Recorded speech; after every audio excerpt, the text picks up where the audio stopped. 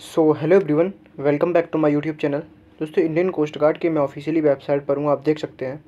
And uh, कल एक notification आया था कि 28 जुलाई तक इनका जो फ़ेज़ थ्री है वो क्लियर करा के इन्हें वापस uh, जो वापस नहीं कह सकते यानी कि फर्स्टली बार जो पर्सनल हैं इंडियन कोस्ट गार्ड के जो सिलेक्टेड हो जाएँगे उन्हें इन्हें शिल्का बुला लिया जाएगा ठीक है? तो आज मैं उस uh, मतलब एक ऐसा सर्टिफिकेट आया है जिसे आप लोगों को उनकी ऑफिशियली जो वेबसाइट है, उस पर भेजना है, यानी कि जिसे ईमेल आईडी भी बोल सकते हैं, उस पर भेजना है। तो किस प्रकार से भेजेंगे एंड क्यों भेजना है, क्या ज़रूरत है भेजने के लिए तो इस वीडियो में आपका सब डाउट क्लियर होने वाला है। तो वीडियो को एंड तक ज़रूर देखना, वीडियो पसंद आए तो लाइक, शेयर एंड सब्सक्राइब ज़रूर कर देना, ठीक है। और मेरा एक टेलीग्राम ग्रुप है, लिंक इस वीडियो के डिस्क्रिप्शन में दिया गया है। आप अगर मेरे टेलीग्राम ग्रुप को ज्वाइन नहीं किए हुए हो तो प्लीज़ आप ज्वाइन कर लीजिए, जो सबसे पहले अपडेट रहता है, वो मैं अपने टेलीग्राम ग्रुप पर दे देता हूँ, ठीक है। तो चलते हैं, बिना देरी की वीडियो स्टार्ट करते हैं। मैं उस समय इंडियन कोस्ट गार्ड की ऑफिशियली वेबसाइट पर, आप देख सकते हैं। एंड जब मैंने इसके ऊपर कल वीडियो बनाया था तो बहुत सारे कैंडिडेट मुझे एक मैसेज के थ्रू एक मुझे मैसेज दे रहे थे कि सर इसमें जो आया है, उस पर जब क्लिक कर रहे तो एक फॉर्म आ रहा है विलिंगनेस सर्टिफिकेट ये क्या चीज़ है? तो फ्रेंड्स मैं बता देता हूँ कि विलिंगनेस सर्टिफिकेट एक इंडियन कोस्ट गार्ड का एक ऑफिशियली डॉक्यूमेंट है, जिसे वो अप्रूव करते हैं। अब कैसे अप्रूव करते हैं? तो ये एक ऐसी चीज़ है, जिसे कैंडिडेट मान लीजिए कि आप लोगों ने इंडियन कोस्ट गार्ड का टेस्ट निकाल दिया है, ठीक है? और निकालने के बाद आपने एक, उसी समय एक दूसरा भी टेस्ट निकाल दिया है, ठीक है? मतलब एक टेस्ट एंड मतलब एक टेस्ट आपने अभी इंडियन कोस्ट गार्ड का निकाल दिया है, उसके बाद एक टेस्ट आपने किसी और विभाग का निकाल दिया है। आप चले गए हो अदर विभाग में इंडियन कोस्ट गार्ड को छोड़कर।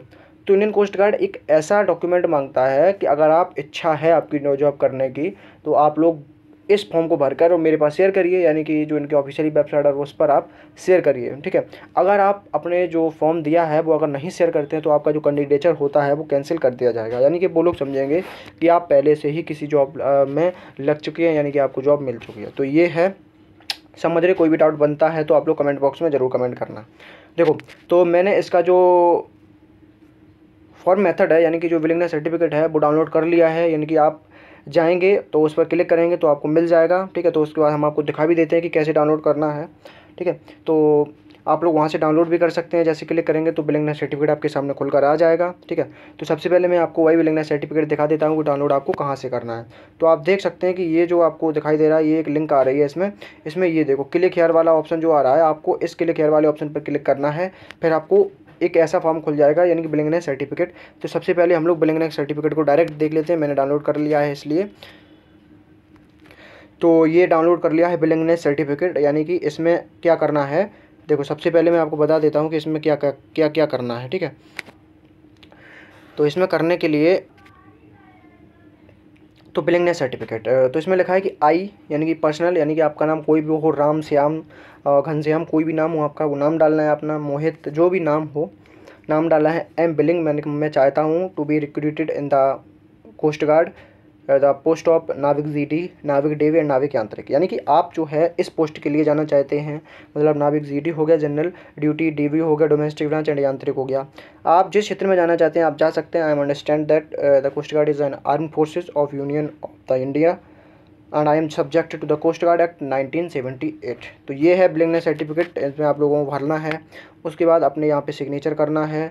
सिग्नेचर करने के बाद में सिग्नेचर करने के बाद में आपको अपना नेम डालना है नेम डालने के बाद में डेट डाल देना है, उसके बाद।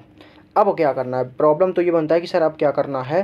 तो देखो, हम इसकी एक ऑफिशियल वेबसाइट आपको बता देते हैं, उस पर आपको जाना है।